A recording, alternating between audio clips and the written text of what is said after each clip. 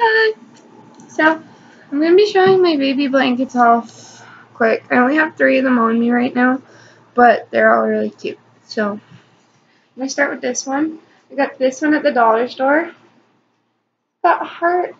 They're hot pinkish, baby pinkish.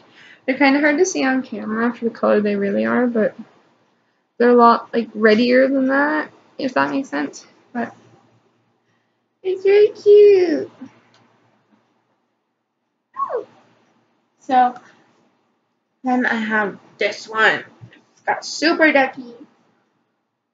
It's like turquoise on the sides. It's got these cute duckies on with little cape wings on. I think it's a cape, but they look like wings. It's a little dirty, but I've been moving a lot, so that's why. It's got like these little ties at the end, and it it's handmade by, I'm not sure who. I got it a few years ago, so I don't really remember. And then, my favorite, duckies!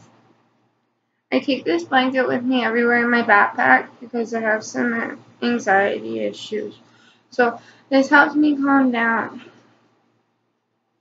It's really, really, really, really sweet. I got this when I was really little but it's not my baby blanket per se, because that one, I don't know what happened to it, but it was sad because it's gone. It was so cute. It was black and white, and it had little animals in trains, and the trains were made out of blocks. And they're so cute. So, yeah, that's my blankie. It's similar to this one with the duckies, but I had this one first, so. So those are the three I have on hand as of right now. Um, when I get the rest, I'll maybe I'll just re-record the video, or I'll record them, and then I'll add it to this video somehow, if that works. If you guys have a better idea, let me know, because I don't really know. So. Um, if you like this video, like, favorite, share, maybe. You don't have to share.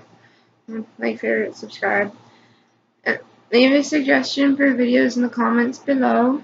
And I'll see you guys later. Bye-bye.